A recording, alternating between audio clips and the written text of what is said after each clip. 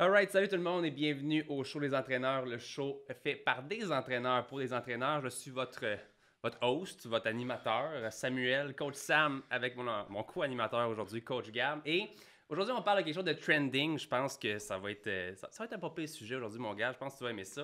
On parle de la foutue COVID-19, mais on parle surtout de qu'est-ce qui se passe en ce moment. Là, on est le 8-9 octobre, je pense, et on vient d'apprendre qu'il y avait la fermeture des gyms. Donc, on vient d'apprendre que tous les entraîneurs ne pourront plus exercer pendant un minimum de 18 jours. Je pense que ça, on s'entend qu'on pense que ça va être un petit peu plus que ça.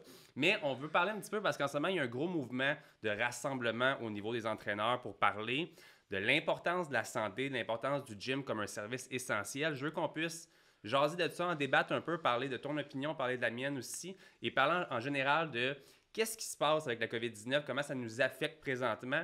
On ne parlera pas de notions euh, scientifiques de médecins, on va parler vraiment d'entraîneurs et comment ça nous affecte nous. Et on veut donner aussi des trucs sur, pour les entraîneurs qui débutent ou qui ont déjà une business qui fonctionne, qu'est-ce que vous pourriez faire pour peut-être faire survivre votre entreprise pendant des temps plus difficiles de pandémie comme ça?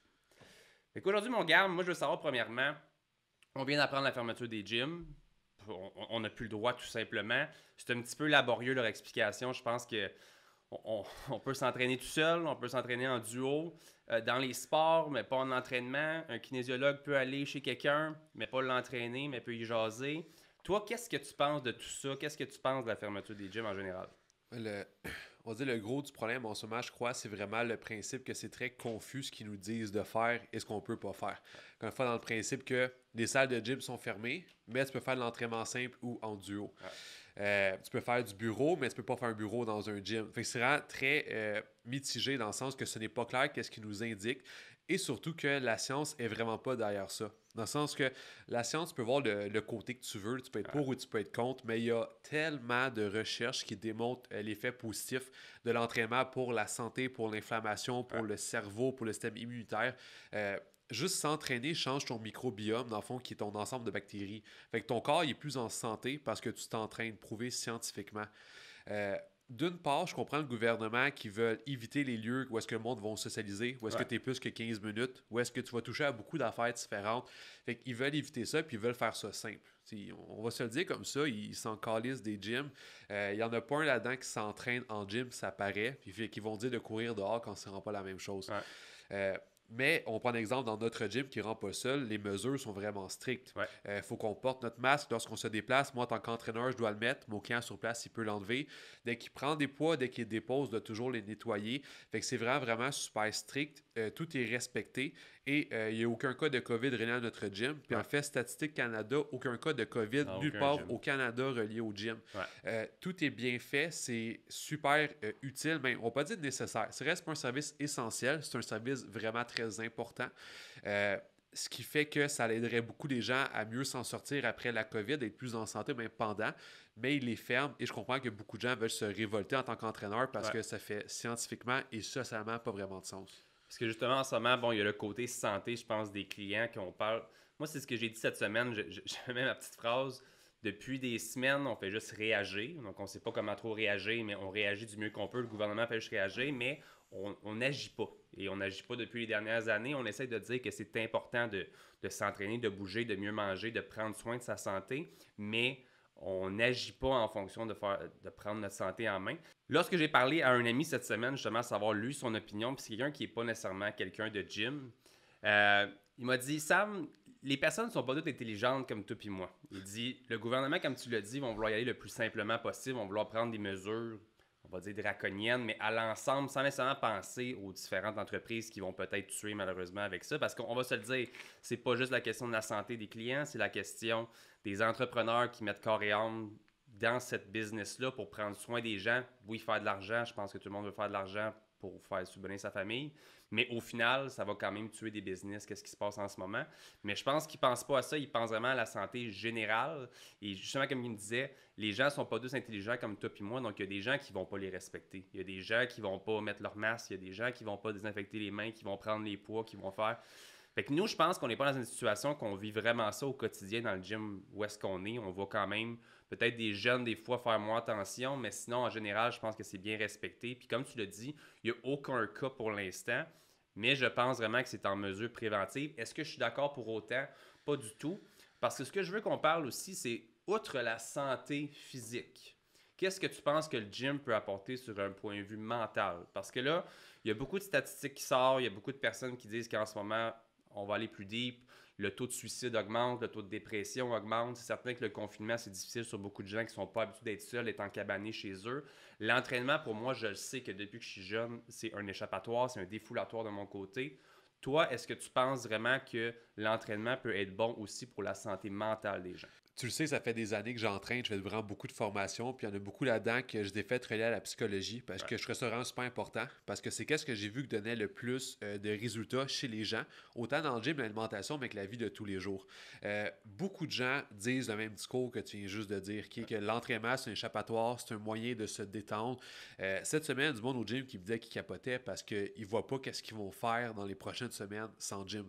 Parce que oui, tu peux jogger dehors, oui, tu peux t'entraîner à la maison, mais c'est tellement pas motivant. Oui, il y du monde qui sont capables de se motiver, puis tant mieux, mais la majorité des gens ne sont pas motivés. Euh, le fait de s'en aller, aller au gym, s'entraîner, puis revenir, c'est un état, c'est une routine, c'est un rituel. Puis c'est une victoire à tous les jours quand que tu le fais. De je me botte le cul, je vais faire quelque chose de santé pour moi, je vais bien me sentir, ce qui va après ça aussi affecter l'alimentation, ce qui va affecter le sommeil. Euh, il y a vraiment beaucoup de gens que c'est une façon de justement dépenser de l'énergie, de bien se sentir. On le sait, ça relâche des hormones dans le cerveau, ce qui aide au niveau de la détente, la récupération et tout ça. Euh, et oui, depuis le début du COVID, même si on lit pas ça, si on relie pas ça au gym, euh, les taux de suicide, d'overdose, euh, de, des gens qui vont dans les, pour la psychologie, pas psychiatrie, mais psychologie, ça a vraiment beaucoup augmenté des places que ça l'a doublé. parce que rester enfermé chez soi avec un gros stress qui nous plante sur la tête parce qu'on se fait dire qu'on va se faire qu'on va mourir à tous les jours, c'est très demandant. Puis l'échappatoire que la part des gens avaient, parce que les gens ont une vie, on va dire, normale, vont travailler, vont à la maison, vont leur enfant, tout ça. Il y avait une activité à eux qui était s'entraîner, qui fait qu'ils se sentaient bien, qui étaient plus en santé, mais tu leur enlèves ça. Et pendant plusieurs mois, sans pouvoir dire quand est-ce que ça va réouvrir. Fait que oui, malheureusement, il y a beaucoup de gens que ça va les affecter négativement euh, et ça peut être beaucoup plus loin que qu'est-ce qu'on pense que juste te dire, oh, euh, je peux pas m'entraîner beaucoup trop de gens pensent à l'entraînement, pensent à des gros bras, mais moi, quand je pense à l'entraînement, je pense à une madame de 40 ans qui bouge puis qui est contente de bouger sans douleur puis qui se sent bien pendant ce moment-là. Ouais, c'est ça qui est dur d'essayer de prôner de notre côté la santé les années qu'on a commencé à être entraîneur. Puis là, tout d'un coup, se ramasser à qu'on peut pratiquement pas le faire. Évidemment, on va parler sous peu des différents trucs qu'on peut vous donner à la maison euh, pour les futurs entraîneurs, les entraîneurs débutants ou même ceux qui sont déjà établis sur quoi faire pendant justement la pandémie pour continuer d'avoir de la clientèle, d'avoir même de la nouvelle clientèle ou de, continuer de bien gérer votre clientèle actuelle. Mais quand même, comme tu le disais, bon, les statistiques, il y a aussi des statistiques qui montrent le taux d'antidépresseurs qui, a monté en flèche présentement. C'est certain que la COVID fait des dommages. Nous, on ne se lancera pas sur les affaires euh, conspirationnistes aujourd'hui. Je pense qu'on est dans la même école de pensée de toute façon. Mais pour dire que il y a un virus, quelque chose qui se passe en ce moment. Il y a des mesures qu'on doit prendre, puis je pense que les gyms ont fait leur devoir lors de la première vague.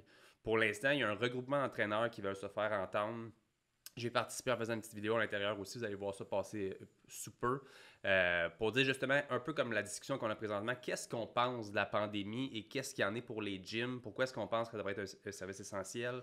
C'est certain de mon côté, je pense qu'on serait même prêt à renforcer un petit peu nos, mesures, à peut-être prendre moins de personnes à la fois dans les gyms. au final, ce qu'on veut, c'est travailler, c'est continuer de, comme j'ai dit tantôt, faire de l'argent, souvenir à notre famille, mais d'aider nos clients aussi dans lesquels on a un devoir. Euh, il y a des gens qui payent des fois pour des forfaits de, plusieurs mois d'avance. On ne veut pas avoir à les rembourser parce que c'est plate pour les deux personnes. La personne peut-être que c'est à tout prix pour venir dans ton bureau une première fois, de sortir son portefeuille et par la suite de vouloir avoir une meilleure vie. Ben, si on y enlève ça du jour au lendemain, est-ce que ça veut dire qu'après la pandémie, la personne va être prête à refaire les efforts qu'elle a fait. Beaucoup de personnes ne seront pas prêtes à le faire. Euh, je vous rappelle, guys, à la maison, que présentement, vous écoutez le podcast Le Show des entraîneurs qui est présenté par euh, l'Académie Entraîneur en Feu. C'est notre académie de formation à moi et Gab et on adore pouvoir vous coacher euh, dans votre, votre future carrière d'entraîneur. Donc, si pendant la pandémie, je pense pas que c'est un mauvais temps, justement, euh, pour se former, je pense, pour continuer justement à se former, à devenir un meilleur entraîneur ou à tout simplement apprendre plus de connaissances sur le milieu, l'entraînement, la biomécanique, la nutrition, les suppléments. Donc, si ça vous intéresse, rendez-vous au www.entraîneurenfeu.com. Malgré la fermeture des gyms, le monde d'entraînement est vraiment pas mort, puis même au contraire. On peut juste penser à la première pandémie, confinement, où est-ce que les équipements de sport ont été sold out, puis c'est encore dur aujourd'hui d'en avoir un milieu qu'on n'aurait jamais pensé l'entraînement à la maison, la dernière fois, a explosé. Et en ce moment, on s'attend à ce que ça explose encore. Parce que tous ceux qui s'entraînaient, mais là, veulent continuer à s'entraîner, mais à la maison. Ceux qui étaient à la maison s'entraînent encore à la maison. Donc, en ce moment, je pense que c'est le meilleur temps, selon moi, parce qu'on peut avoir plus le temps de faire plus de formation, bâtir son entreprise en ligne, faire créer toutes ces. On, on paye des templates pour être capable d'acquérir beaucoup de clients, faire son marketing, parce que l'entraînement à la maison, ça partira jamais. Ouais. Il n'est jamais trop tard pour partir. Ce...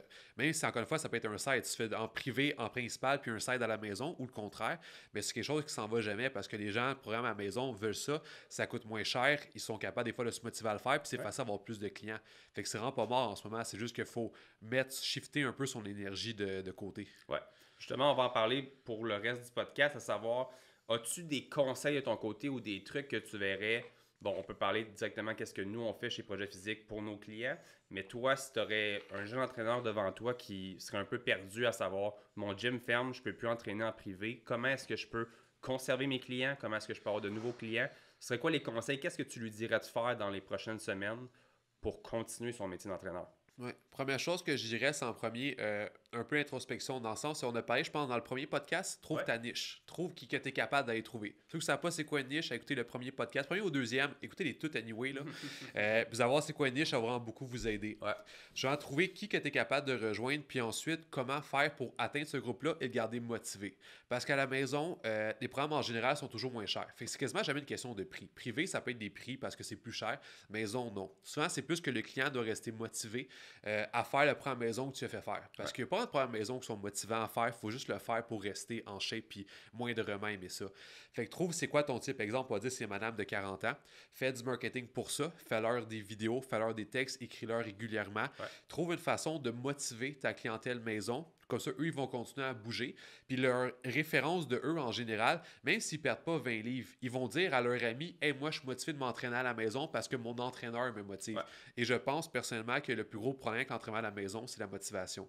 Fait trouve une façon de motiver tes clients. Puis tes clients qui sont motivés vont parler à d'autres personnes qui veulent se motiver aussi. Parce que pas mal tout le monde va vouloir s'entraîner à la maison. Surtout en ce moment, aller jogger dehors, l'hiver, c'est vraiment de la merde. Fait que l'entraînement à la maison, c'est qu'est-ce qui va être ça pour les prochains mois. Encore une fois, ils disent 18-20 jours encore pour la fermeture des gyms. Selon moi, mon guess, c'est pas avant janvier. Puis même ça, ça se peut que ce soit pas avant mars parce que c'est tout l'hiver qu'il y a plus de virus. C'est normal.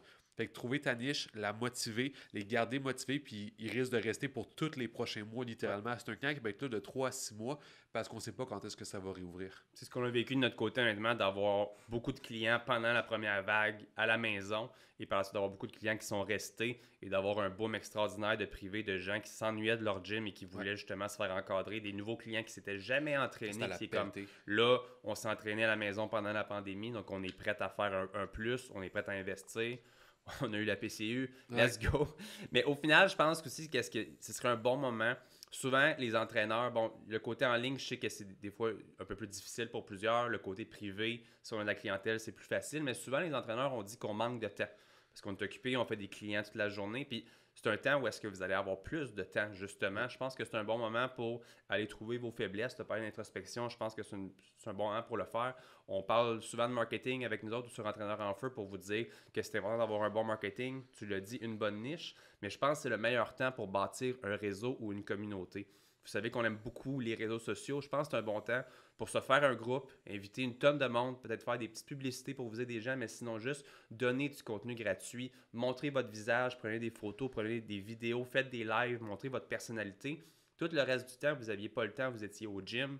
Je suis fatigué, je vais aller chez nous, il faut que je m'entraîne moi aussi, ma femme. Là, vous avez le temps de vous concentrer là-dessus, de bâtir votre réseau. Et lorsque pendant la pandémie, ce réseau-là peut être converti en client, mais à la fin aussi, c'est un réseau qui peut perdurer pour le restant de vos jours. Donc, en donnant du contenu gratuit là-dessus et à l'occasion demandant Hey, voulez-vous un programme ou si vous voulez inboxer chaque personne, c'est le temps que vous allez mettre qui va faire la différence. Mais si vous réussissez à avoir un groupe de 150 personnes et que vous prenez le temps d'écrire aux 150 personnes, de savoir, hey, comment tu te sens pendant la pandémie? As-tu besoin d'un coup de main? Tiens, voilà un petit programme pour aujourd'hui gratuit et qu'à un moment donné, hey, ça ne tenterait pas d'essayer tel programme avec moi. C'est très possible que la personne dise oui parce qu'elle a juste ça à faire pour l'instant et que si tu es la solution pour lui permettre d'être en shape, d'être en forme, d'être en santé durant la pandémie à la maison, tu peux faire toute la différence, puis la personne peut être, va rester avec toi pour le restant de tes jours.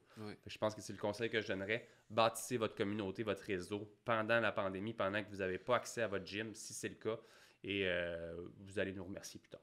vraiment. Donc, guys, j'espère que vous appréciez le podcast d'aujourd'hui. Je vous rappelle que vous pouvez aller faire un tour sur entraîneurenfeu.com pour les formations pour entraîneurs. Sinon, on veut vos commentaires à savoir comment vous trouvez le podcast, comment est-ce que comment vous nous trouvez honnêtement? Est-ce qu'on est cute? Est-ce qu'on fait bien ça? Mais aussi à savoir c'est quoi les prochains sujets que vous aimeriez voir pour le podcast. Le podcast est disponible sur toutes les plateformes. Euh, Apple, Spotify, Google, etc. Il est disponible aussi sur YouTube et sur nos pages Facebook. Et nous, euh, on se voit une prochaine fois. Yes. Bye.